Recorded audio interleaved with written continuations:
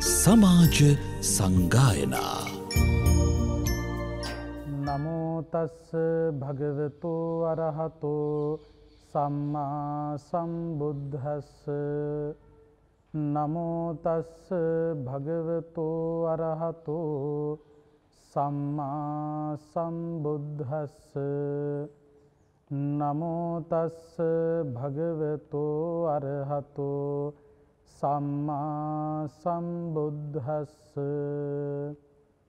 මනුජස්ස පමත්ත චාරිනෝ තන්හා වඩ්හති මාළුවාවිය සෝප්ලවති හුරාහුරං පලමිච්චංව වනස්මින් වානරෝ යංඒසා සහතේ ජම්මි තන්හාලෝකේ විසත්තිකා සෝකාතස්ස පවඩ්හන්ති අභිවට්හංව බීරනං යෝචේතං සහතේ ජම්මින් තන්හාලෝකේ දුරච්චයන් සෝකාතම්හා පපතන්ති උදබින්දුව පොක්හරා තංවෝ වදාමි භද්දංවෝ යාවන්තෙත්හ සමාගතා තන්හාය මූලංකනතහ උසීරත්තේව බීරනං මාවෝ නලංව සෝතෝව මාරෝ භංජි පුනප්පුනං කරෝත බුද්ධ වචනං කනෝවේමා උපච්චගා කනතිතාහි සෝචන්ති නිරයම්හි සමප්පිතා පමාදෝ රජෝ සබ්බදා පමාදානුපතිතෝ රජෝ අපමාදේන විජ්ජාය අබ්බහේ සල්ල මත්තනෝති ශ්‍රද්ධාවන්ත කාරුණික පිංහතුනි. සුපුරුදු පරිදි හිමිදිරි පාන්දර හිරු රූපවාහිනි ඔස්සේ ඔබ වෙත ගෙනේන සැදැහැති සමාජ සංගායනා ධර්ම දේශනාව ශ්‍රවණය කිරීමටයි කවුරුත් බලාපොරොත්තු වෙන්නේ. අද ධර්මානු ශාසනාව ඔස්සේ පැහැදිලි කරලා දෙන්නට බලාපොරොත්තු වෙන්නේ මාලුංක්‍ය පුත්තත් තේර ගාථාව. මාලුංක්‍ය පුත්ත මහරහතන් වහන්සේ විසින් දේශනා කළ ගාථා. ධර්මානුශාසනාවේ මාතෘකාව හැටියට සජ්්‍යායනා කළේ ඒ උතුම් ගාතහා ධර්ම.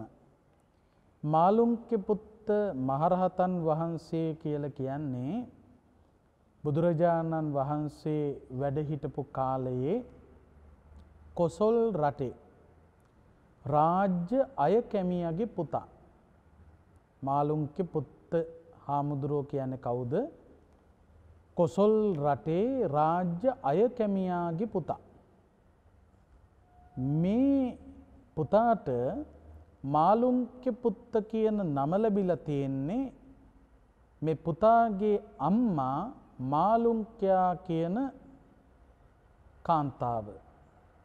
එතකොට මාලුංක්‍යයා කියන අම්මගේ පුතා කියන අදහස තමයි මාලුංක්‍ය පුත්ත කියලා හඳුන්වන්නේ. මේ මාලුංක්‍ය පුත්ත හාමුදුරුවෝ බුදුරජාණන් වහන්සේ පිළිබඳව තරුණ කාලෙදී පැහැදිලා. ධර්මය පිළිබඳව පැහැදිලා. සඟරුවන පිළිබඳව පැහැදිලා. ඒ ප්‍රසාදයෙන් සම්බුද්ධ ශාසනය පැවිදිවෙච්ච උත්තමයෙක්. සම්බුද්ධ ශාසනයේ පැවිදි වෙලා ලෝතුරා බුදුරජාණන් වහන්සේ අනුදැන වදාළ කාර්ය සම්පූර්ණත්වයට පත් කළ රහතන් වහන්සේ නම. බුදුරජාණන් වහන්සේ ලොවට හිතසුව පිණිස මේ චතුරාර්ය සත්‍ය ගැබ්බුණු. ධර්මය හෙළිකරලා බලාපොරොත්තු වනේ මේ සංසාර ගමන තුළ දුක්විඳින සත්වයන් මේ සසරින් මුදවා ගැනීම පිණිසයි. අන්නේ උදාර අදහස ඇතිකරගෙනයි බුදුරජාණන් වහන්සේ මේ උතුම් ධර්මය ලොවට හෙළි කළේ. බුදුහාමුදුරුවෝ සිව්වන පිරිසට සිදු කළ වටිනා අනුශාසනාවක් තිබෙනවා. මොකක්ද ඒ යංකොහෝ බික්කුහෝ සත්තහාරා කරණීයන් සාවකානං හිතේසිනා අනුකම්පකේන අනුකම්පං උපාදාය මහනෙන ශාස්තෘූන් වහන්සේ නමක් හැටියට ලෝක සත්වයා කෙරෙහි අනුකම්පාව උපදවාගෙන කළ යුතු කාර්යක් තියෙනවා නං. තංවෝ කතම් මය. මං ඒ වැඩේ කළා. ඒතානි බික්කු රුක්කමූලානි ඒතානි සුඤ්ඥාගාරානි. මහනෙන වෘක්ෂමූලිකව හෝ ශුන්්‍යාගාරගතව හෝ ජායතහ මා පමාදත්හ. කෙලෙස් දැවීමේ කාරයෙහි යෙදෙන්න ඒ සඳහා ප්‍රමාදවෙන්ඩ එපා.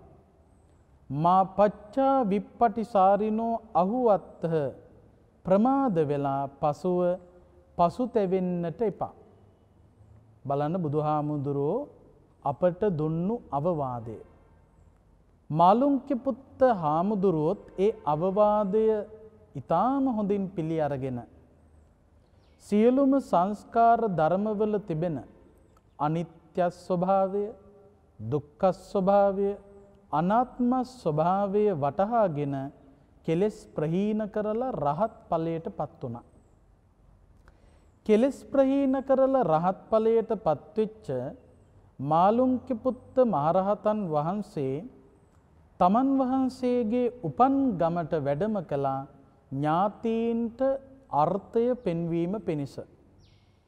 ඒ උපන් ගමට වැඩම කළ වෙලාවේ මාළුන්ක්‍යපුත්ත මහරහතන් වහන්සේගේ ඥාතීන් හිතයිශීන් පවුලෙ උදවිය මහරහතන් වහන්සේට ඉතාම හොඳින් ඇපෝපස්ථාන සිද්ධ කළා.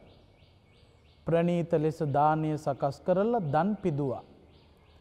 ඒ තරං උපස්ථාන සිද්ධ කරලා අවසානිදි මොකද කළේ මහා ධනස්කන්දයක් ගෙනල්ල රහතන් වහන්සේ ඉදිරියේ ගොඩ ගැහුවා.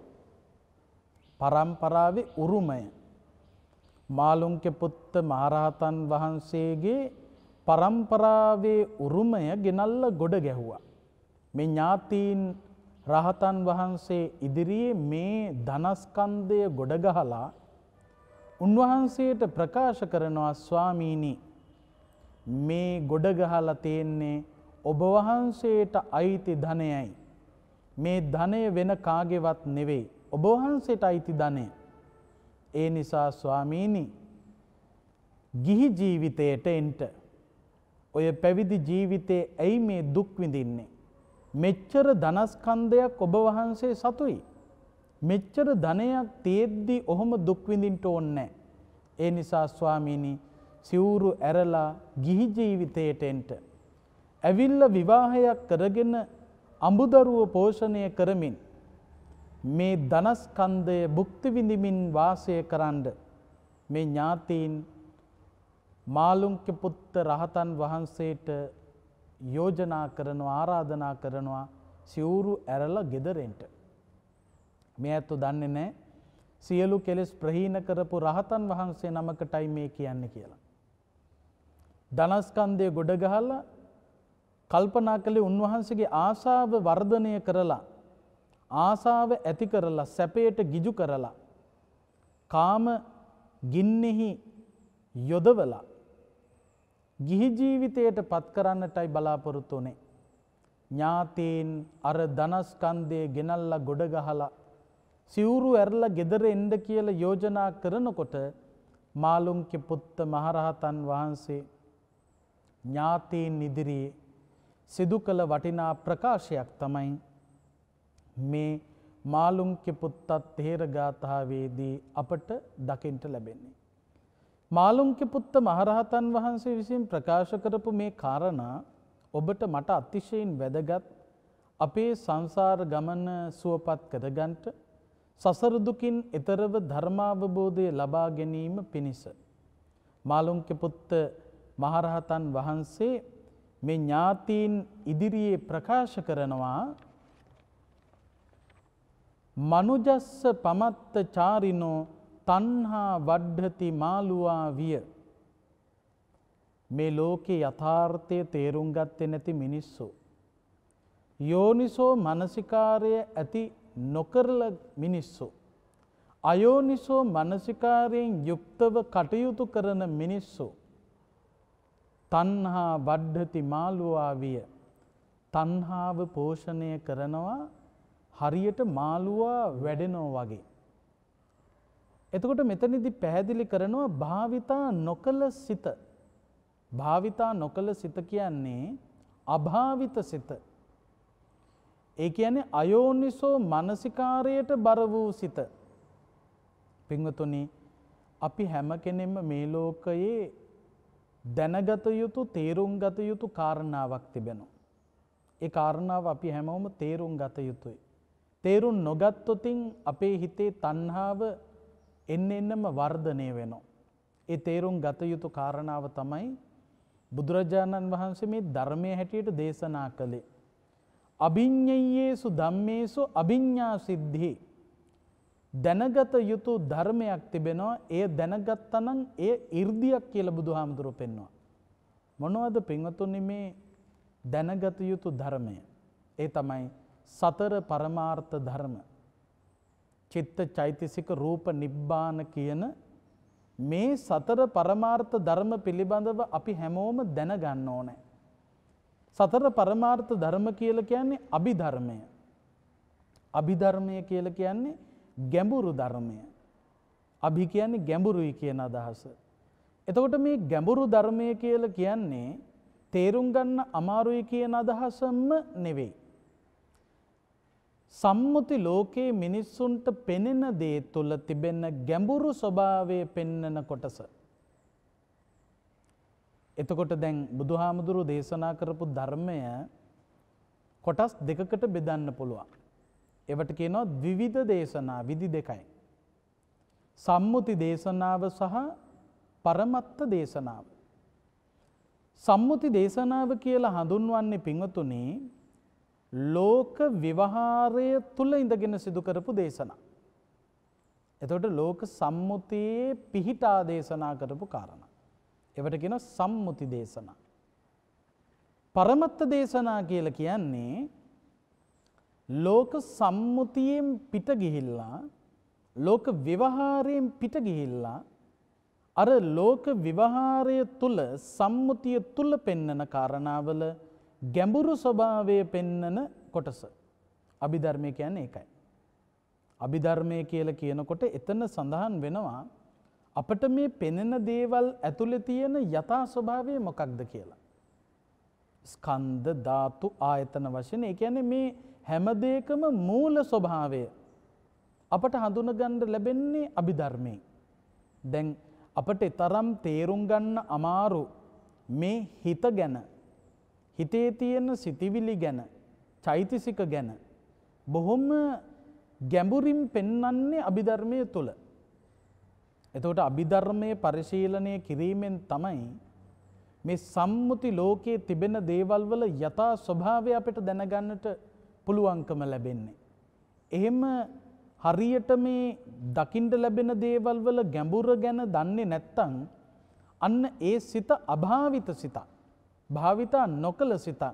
අයෝනිසෝ මනසිකාරයට බරවුණු සිතක්. එනිසා මේ යෝනිසෝ මනසිකාරය ඇතිකර ගන්ට නම් ධර්මය ඉගෙන ගන්ටම ඕන. ඔොද ධර්ම ඉගෙන ගත්තොත් තමයි මේ පෙනෙන්න දේ තුළ තිබෙන ගැඹුර මොකක්ද කියනක තේරුම් ගන්න පුළුවන්කම ලැබෙන්නේ. එක හේතුවක් තමයි අපට මේ පෙනෙන්නේ මේ පටවියාපෝ තේජෝවායෝ ඒවගේම මේ විවිධ විවිධ කොටස් වල එකතුවෙන් හැදිච්ච දේවල්. ස්කන්ද ධාතු ආයතන මේවයි එකතුනේ අපිට මේ දකිින් හම්බෙන්නේ. ඒ එකතු වෙච්ච දේවල් එකතු වෙලා තියෙනකොට අපට පෙනෙන්නේ නියමාකාරයෙන් නෙවෙයි. එතකොට මේ විවිධ දේවල් එකට එකතු වෙලා හැදිච්ච එකක් තියෙනවා නම් ඒ හැදිච්ච දේ බලාගෙන ඉන්නකොට අපට යථාර්ථය තේරෙන්නේ නැහැ. එතකොට මේ විවිධ දේවල් එකට එකතු වෙලා හැදිච්ච ඒ දේ හැදුනේ විවිධ කොටස් එකතු වෙලා කියලා බෙදලා දකින්න පුළුවන් නම් වෙන්කොට දකින්න පුළුවන් නම් විභජ්‍ය කියලා කියන්නේ ඒකයි. බෙද බෙදා දකින්නට පුළුවනි නම් ඒ බෙද බෙදා වෙන්කොට දකින්නකොට තමයි යථාර්ථය පේන්න ගන්නේ. දැන් අපි උදාහරණයක් ඇටියට ගත්තොත් ලස්සන රූපයක් තියෙන කාන්තාවක් හෝ පුරුෂයෙක් දකිනකොට අපේ හිතේ රාගය කාමය ඇවිස්සෙන්න ඉඩ තියෙනවා. හැබැයි මේ දකින්න කාන්තාව හෝ පුරුෂ රූපය හැදුනේ කොහොමද කියලා වෙන්කොට ඒ කොටස් වෙන්වෙන් වශයෙන් දකින්න පුළුවන් නම් හිතින් ඒ කෙනාට කොච්චර ලස්සන රූපයක් දැක්කත් ඒ රූපයේ ඇතුළත තිබෙන අසුභය දකින්ට පුළුවන්කම ලැබෙනවා. දැන් බලන්න පින්වතුනි මේ කෙස් කලඹ හිසේ රැඳී තිබෙන තුරා දකින්න කෙනෙකුට රාගය මතු කරවන කාරණාවක්. සමහර අය කියන්නේ බලන්ට එපැයි කොණ්ඩෙ ලස්සන පාට කරලා තියෙන්නේ හරිම ලස්සනයි. එයාගේ කොණ්ඩෙට මම කැමති. හැබැයි ඒ කොණ්ඩෙට කොච්චර ආසා කළත් කොච්චර ඇලිල හිටියත් කොච්චර කොණ්ඩෙ බදාගත්තත්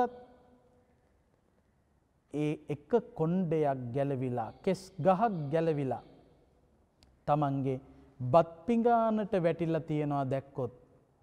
ඒ බත් පිඟානට වැටුණු කෙස් ගහ රත්තරම් පාටිං ආලේප කරලා තිබුණත් පිල්ලිකුල්ල මතු වෙනවමයි.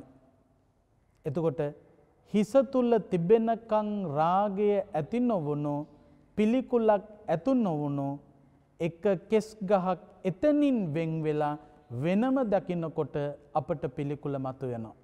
එක තමයි හැටි. ඊළඟට බලන්න පිංහතුනි මේ දට්ටික කටේ පෝලිමට ලස්සනට හැඩට තියෙනකං ඒ දත් පෙල්ල දකින්නකොට රාගය ඇතිවෙන්න පුළුව. බලන්න අර කෙනාගේ හිනාව බලන්නයාගේ දත් පෙල්ල කොච්චර ලස්සනද ඒ ලස්සනට තියෙන දත් පෙළෙන් එක දතක් ගැලවිල්ල බත් පිඟානකට වැටිල තිබුණොත්. තනියෙන් පෙනෙන වෙන්කොට පෙනෙන ඒ දත දැක්කහම ඇලීමක් ඇති වෙන්නේ ඇති වෙන්නෙම පිළිකුල.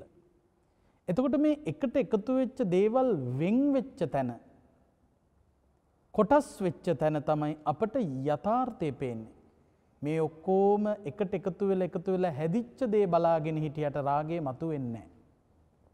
තවුදාහරණයකින් මේ කාරණාව පැහැදිලි කළොත් හිස් ඉඩමක් මිලදී ගන්නවා මිලදී අරගෙන අපි මොකද කරන්නේ නිවසක් තනන්නට ප්ලෑන් එකක් අඳිනවා.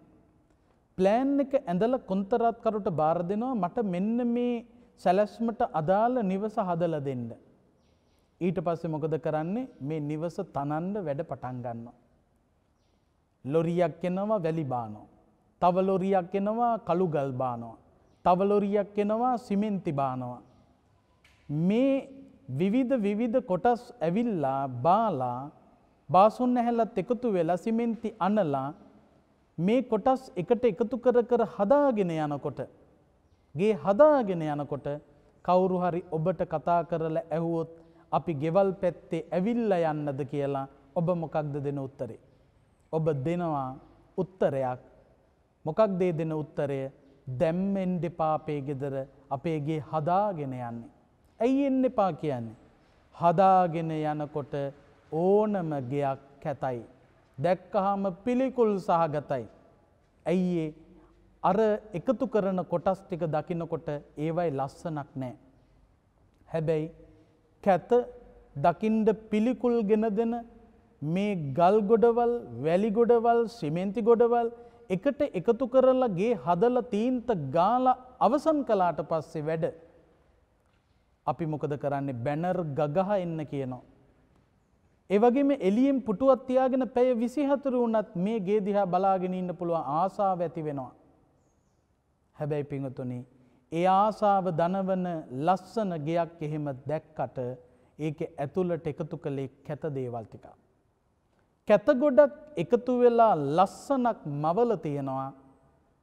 ඒ මවා පෙන්නන ලස්සන දැකල අපි රාගය මතු කරගන්නවා. බුදුහාමුදුරුව අභිධර්මයේදි පෙන්නුවේ. ඒ ලස්සනයි කියලා රැවටුණු දේ. ඒ ලස්සන දේ හැදෙන්න එකතු වෙච්ච කැත දේවල් දකින්න මේ දේවල් බෙද බෙදා දකින්න. එතකොට බලන්න මේ ශරීරය පිළිබඳව පිළිකුල ඇතිවෙන්න නම් ශරීරය කොටස් වෙන වෙනම දකින්න ඕන. එනිසා තමයි අත්ති ඉමස්මින් කායේ කේසා ලෝම නකා දන්තා එකැන කෙස් ලොම් නිය දත් මේවා වෙන වෙනම හිතනකොට තමයි පිළිකුල මතුවෙන්නේ. අන්න එතකොට මේ අපි රාගයෙන් අල්ලගන්න දේවල් ඇතුළෙ තිබෙන්නේ පිළිකුල් සහගත දේවල්ය කියන එක අපි දැනගන්න ඕන. එහෙම තේරුම් ගත්තේ නැති අය තන්හාාව වර්ධනය කරනවා හරියට මාළුවා වැල වගේ. මාළුවා වැල කියන්නේ මොනෝ ඇලක්ද. හිමාලයේ විවිධ රූක්ෂ ගස් ආශ්‍රය කරගෙන වැඩෙන වැල් වර්ගයක්. මේ මාළුවා වැල පින්වතුනි ගසක් ඇසුරු කරගෙන ගසේ හැදෙනවා. වැඩෙනවා පෝෂණය වෙනවා. හැබැයි මේ මාළුවා වැල හැදෙන ගහ විනාශ වෙලාම යනවා. මේ මාළුවා වෙලේ හටගන්න කොළ හරියට කෝප්ප වගේ. එතකොට මේ හැදෙන පත්‍රවල වතුර පිරෙනවා. බර වැඩි වෙනවා. මේ ගස පෙරලෙන්න පුළුවන්. ඒ ගස විනාස වෙනවා මාළුවා වැල ඒ ගහේ හැදුනෝ. එතකොට බලන්න මේ සිත වටකරගෙන හැදෙන තන්හාාව නම් වූ මාළුවා වැල නිසා අපට හිත රැකගන්ට බැරුව යනවා හිත විනාස වෙලා යනවා. තන්හාාව කියන්න එහෙම එකක්. මාළුන්ක පුත්ත මහරහතන් වහන්සේ උපමාවෙන් පෙන්න්නන හරියට මාළුවා වැලක් එතෙනවා වගේ තන්හාාව හිතේ එතෙනවා කාගෙද. අභාවිත සිතක් ගොඩ නගන්න කෙනාගේ. මේ ලෝකයේ යථාර්ථය නොදකින කෙනාගේ අන්නේ කෙනා සෝප්ලවති හුරාහුරං පළමිච්චංව වනස්මින්වානරෝ හරියට පල්ලයන්ට කැමැත්තෙන් වඳුරෝ අත්තෙන් අත්තට පැනපැන යන්නාසේ. මේ තන්හාාව පෝෂණය කරන සත්වයා භවයෙන් භවයට පැන පැන යනවා. භවයෙන් භවයට යොමුවෙවී සසරපුරා සැරි සරනෝ. යංගේ සා සහ තේ ජම්මි තන්හා ලෝකයේ විසත්තිකා සෝකා තස්ස පවඩ්ඩන්තේ අභිවට්ටංව බීරණං. හරියට තේරුන් නොගත්ත මේ ලෝක යථාර්ථය ධර්මය ඔස්සේ තේරුම් නොගත්ත පුද්ගලයාගේ සිතේ. කෙලෙස් වැඩෙනවා හරියට බෙරු තන වැඩෙන්න්නාසේ. බෙරු තන කියල කියන්නේ අධික වේගෙන් වැඩෙන තනවර්ගයක්. කෙලෙස් වැඩෙනවා. ඒ කෙලෙස් වැඩෙනකොට අතිශයෙන් පීඩාකාරී ස්වභාවයක් තමන්ට ලැබෙනවා. යෝචේ තං සහතේ ජම්මින් තන්නා ලෝකයේ දුරච්චයන් සෝකා තම්හා පපතන්තේ උදබින්දුව පොක්කරා. යම් කිසි කෙනෙක් මෙන්න මේ ක්ලේෂයන් ප්‍රහීන කිරීමට දක්ෂ වෙනවන. තන්හාාව දුරුකරගන්න උනන්දු වෙනවන. භාවිතා කළ සිතක් ගොඩනගන්නට මහන්සි ගන්නවා නම්. අන්න ඒ පුද්ගලයාගේ සිතේ කෙලෙස් බිඳු තැවරෙන්නේ නෑ. හරියට නෙලුම් පතෙහි දිය බිඳු නොරැඳෙන්නාසේ. නෙළුම් පත්‍රයේ දියබිඳු රැඳෙන්නේ. නෙළුම් පතක දියබිඳු නොරැදෙන්නාසේ භාවිතා කළ සිතක් තිබෙන්න පුද්ගලයාගේ සිතේ කෙලෙස් රැඳෙන්නේ නෑ. ඒ නිසා පෙන්නනවා තංවෝ වදාමි බද්ධංවෝ යාවන්තෙත්ත සමාගතා තන්හාය මූලං කනත උසීරත්හේව බීරණං මේ වෙලාවේ මාලුම්කෙ පුත්ත මහරහතන් වහන්සේ ප්‍රකාශ කරනවා ඥාතීන්ට. මේ වේගෙන් හැදෙන වැඩෙන තන්නාව නැමැති මාළුවා වැල මොලිනුපුටා දැමීම සඳහා. මේ වේගෙන් වැඩෙන බෙරුතන මුළුන් උපුටා දැමීම සඳහා උදැල්ලක් කරගෙන මුලින්ම ගලවලදාන්ට. හේතු පල දහමට අනුව පලයට ගල් ගැහ්වට වැඩක් නෑ හේතුව ගලවන්ට ඕන. මෙතනිදි මාලුන්කෙ පුත්ත මහරහතන් වහන්සේ ප්‍රකාශ කරනවා හේතුව නැති කරන්නට. හේතුව නැති කරලා ඵලය නැති කිරීමේ කාර්යෙහි යෙදෙන්න. ඒ සඳහා මහන්සි ගන්න. එහෙම නැති වුණොත් මොකද වෙන්නේ? නදී තීරයේ හැදිලා තියෙන උණ පඳුරු මහා සැඩ ගංවතුරකට හසු නොතින් මුලින්ම ගලවගෙන යනවා වගේ මාරයා නැවත නැවත අපිව පීඩනයට පත් කරනවා. භවයක උපදිනවා කෙටිකාලයක් පවතිනවා මිය දෙනවා ආය උපදිනවා උපදිනවා කියන ආය මැරෙනවා. ඉපදෙන ගානට මැරෙනවා තන්නාව තිබුණොත් මැරෙන ගානට උපදිනවා. ඒ නිසා මාළුන්කෙ පුත්ත මහරහතන් වහන්සේ ප්‍රකාශ කරනවා ලොවතුරා බුදුරජාණන් වහන්සේ දෙසූ දහමට හිත යොමු කරන්න. බුදුරජාණන් වහන්සේගේ බුද්ධ වචනය ක්‍රියාත්මක කරන්න. කෙලිටි සිතිවිලි වලට අනුගතවෙන්ට එපා. මේ කිලිටි සිතිවිලි දුරුකිරීම සඳහා වෑයම් කරන්න. හදවත තුළ ඇනිල තියෙන මේ කෙලෙස් උල් මේ තන්හාාව නැමැති උල ගලවා දමන්නට වෑයම් කරන්න.